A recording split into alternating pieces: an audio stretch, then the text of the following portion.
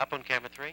Stand by camera two. Dissolve to camera two. Q Last year, Congress passed the 26th Amendment granting the right to vote to citizens ages 18 to 21. Jennings Randolph was the author of this legislation. He was also the leader of legislation to provide federal funds for the West Virginia highway system, plus another multimillion dollar program for economic development in West Virginia. Senator Randolph knows there is much yet to be done. Shouldn't you vote for him so he can get it done?